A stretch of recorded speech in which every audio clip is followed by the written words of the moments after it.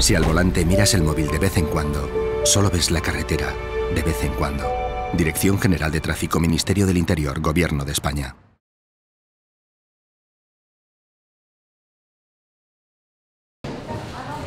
El Gobierno recomienda, por boca del consejero de Gobernación y portavoz del Ejecutivo, Jacob Pachuel, al portavoz del PSOE, Manuel Hernández, que deje de manchar la vida política de Ceuta.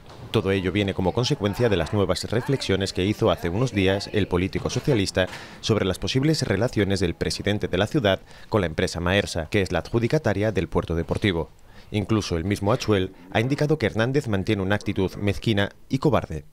Sin pruebas es eh, ensuciar gratuitamente. Es una actitud, me atrevería a decir, mezquina y cobarde.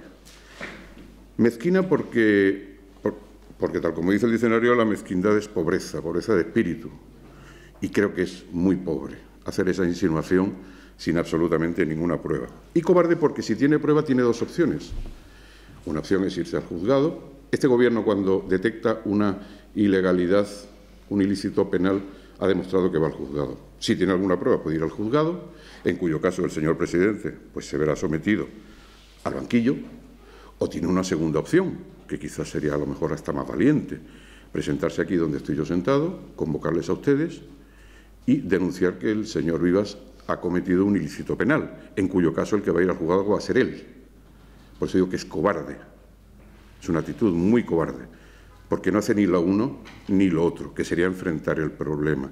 Por otro lado, en relación con la afirmación que hizo el portavoz socialista sobre que el nuevo presidente de la autoridad portuaria había sido impuesto por el presidente del gobierno, Mariano Rajoy, indicó que eso es no conocer al presidente Vivas. El presidente de la ciudad es eh, completamente autónomo en sus decisiones y siempre, eh, siempre las toma en favor de la ciudad de Ceuta, con lo cual Dicho esto, no tengo nada más que decir. Me imagino que debe ser una opinión del señor, del señor Hernández. Eh, ¿Con qué intención? Pues no lo sé, quizás con la intención de desprestigiar quizás al presidente o minusvalorarlo, seguramente. ¿no? Pero en cualquier caso, eh, como no tiene ninguna base, pues lo considero como una opinión.